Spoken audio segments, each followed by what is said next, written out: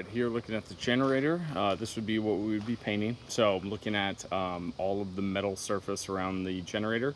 Um, looking to obviously wash the outside of the generator. Obviously we don't want to force water into here, but um, just getting all this algae growth off of the surface before we paint.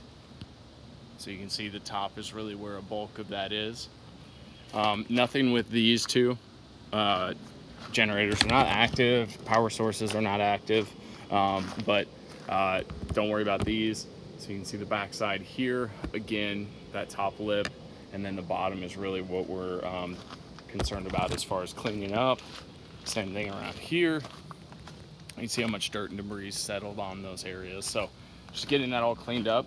Um, talked about using a DTM uh, direct to metal paint right on top of this. Um, most important thing will be that it needs to be cleaned really well. So other than that, that's the scope of the work. Uh, I'll have this quote over to you here shortly.